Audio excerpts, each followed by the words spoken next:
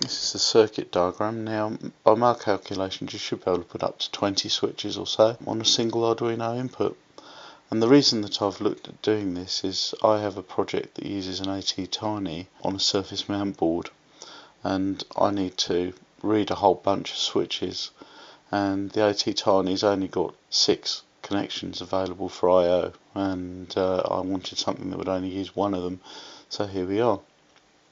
And the circuit works by using the resistors um, on the left there to create a voltage division chain so that the voltage drops all the way down. The first two resistors at the bottom there, they're both 1k and that's simply because you need a little bit of extra at the bottom to lever it away from the ground and it was just handier for me to use two resistors that are the same as the one I've already got. I could have used some other value in there, not a problem.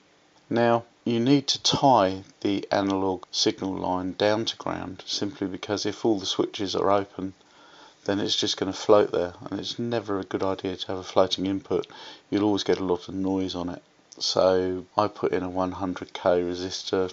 It's not critical value. You could use probably anywhere between 50k and 200k would work fine. Yeah the diodes are just general signal diodes. I used 1N4148s, but just because I happen to have them, you could use any diode really.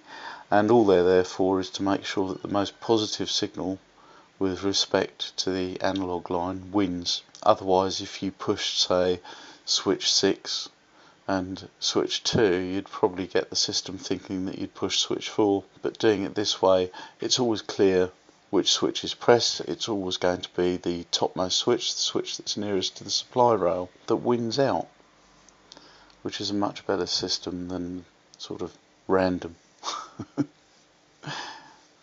so in a real world application, obviously you'd arrange the switches in order of priority with the most important switch, maybe a safety switch or something like that at the top. And here is the breadboard layout that I'm using. As you can see I'm using an Arduino Nano, um, you could use any Arduino, it doesn't really matter. I just happen to have the Nano handy already pushed into the breadboard and if you've tried to push one of these into a breadboard you know what I mean, it's not an easy task. So I tend to leave it there and use it for all sorts of things. So basically I'm taking the 5 volts from the Arduino, the ground from the Arduino and putting the analog voltage in on a naught. I'm using the negative supply rail on the breadboard nearest to us as basically as the analog line and the supply rails on the other side are being conventionally used as the plus 5 and the ground.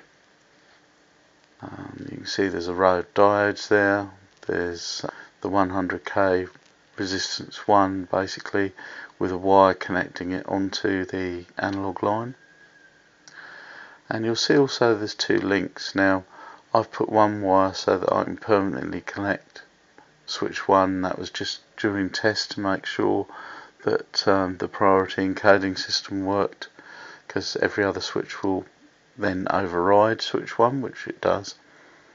And there's a wire there that's used to simulate a switch. Now it's only connected to one diode but that doesn't matter because all the diodes go to one place. The only reason that I've got all the diodes on the breadboard is simply so I can move that link around just to double check that everything works, which it does. Let me just talk you through briefly how the software works. So as usual at the top we've defined all of our constants which in this case is the analog pin which I'm using which is A0 and uh, I've got two constant, one for the top count and one for the bottom count. Now the ADC count for ground shouldn't change, but if you change the design, it could do. Um, top count is basically the count of the top switch in the chain, um, and scientifically plus a little bit. I think I added something like um, 10 to it or something like that. Um, and you can find that easy, out easily enough, and I'll show you how that was done in the Mo and switch divisions, SW divisions is how many switches you've got in the design. I've got eight. Then I've got two variables which I'm using. Um, one's button, which stores the value of the button that's currently pressed. Then you've got old button, which is the last button that was pressed, and that's used to tell us which button was released, which can be quite important, as we'll see. Then you've got setup. Well, I'm setting up the LED pin because I use that, and I'm setting up analog because I'm going to use um, setting up serial port because I'm going to use the um, serial port to debug this. So here we've got the heart of the routine which is read buttons and um, what I'm doing is an analog read to put it in a value called pot for potential. Now I've done a dummy conversion first because sometimes the first read does actually produce a strange value. And then while the new value is different from the old value we're going to go down through this loop which basically is just a debounce loop um, delaying 12 milliseconds in between each one. Now the values I'm mapping I'm using the map function now to a button number okay? And then this commented outline here uh, underneath where it says pot equals analog read it says this line used to find top count. Well all you do is you take the comment bit out of the line and leave in the serial print line bit and run the software and press any switch and you'll see scrolling up your um, screen the actual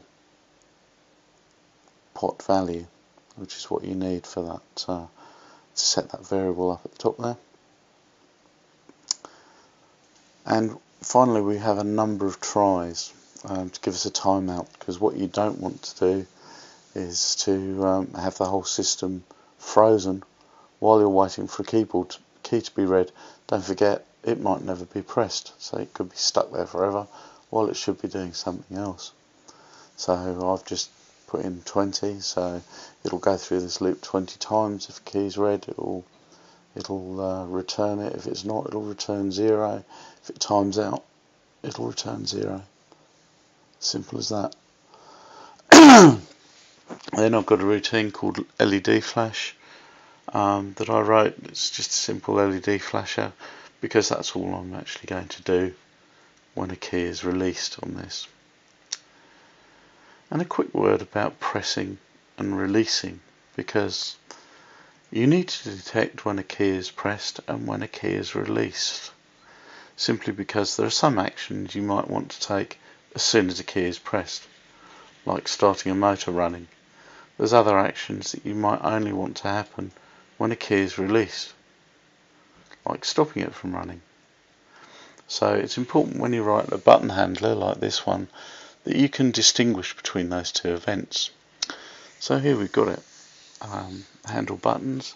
If button is not equal to the old button, so only if it's a change in state. If button is greater than 0, i.e. a button actually has been pressed, then we do whatever we need to do. In this case I'm just sending to the serial port the fact that that button has been pressed. And then if old button is bigger than 0, i.e. if there was a key press before and now there is one, then you'll send the fact that the button has been released. And in our case I'm going to flash the LED for the demo just to show which button it was that was released. And then finally you make the old button equal to the new value. And the software loop at the top all that that is is just read the buttons and handle the buttons and then obviously any other non-button sort of loopy stuff that you might want to put in goes in underneath that. So that's how the software actually works and it's pretty simple really. Um, there's nothing that uh, is horrendously complicated about it. Um, should be easy enough for you to do.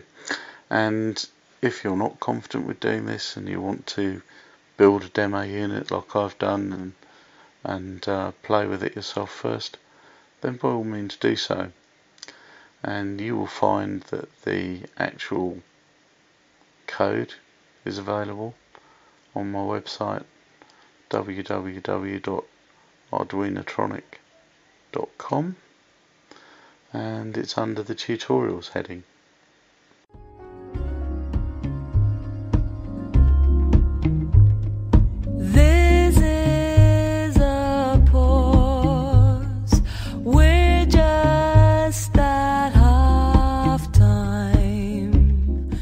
Okay, so here we have our board, our breadboard which I've made up. I shall plug it into my USB and we'll fire up the Arduino software. And as part of the Arduino software there is a thing called a serial monitor under the tools. Open that up. So what I'll do is I'll put my jumper back because I was just playing with it. There we go, and that says what we expect, which is button 1 pressed because I've got the jumper across button 1. Now if I take our switch simulator, obviously if I touch it to button 1 it's not going to do anything, but there's button 2. You see there, button 2 pressed, button 1 released, release that, button 2 released, button 1 pressed, because obviously I've got that jumper in, and so on, all the way up through the line. It's button 3, button 4, button 5, button 6, button 7, and finally button 8 which is straight onto the 5 volt ring. So that shows you that all the buttons work with the jumper in. Now obviously behaviour is a bit different if you've only got one key pressed. It says button 1 pressed and released, button 2 pressed and released, button 3 pressed and released, button 4, oh, that button 4, mustn't do that,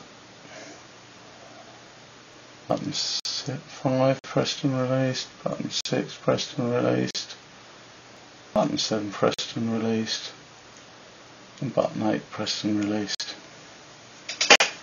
So there you go. That is how you hang anything up to 20 buttons off a single Arduino analog input. I hope you find it useful.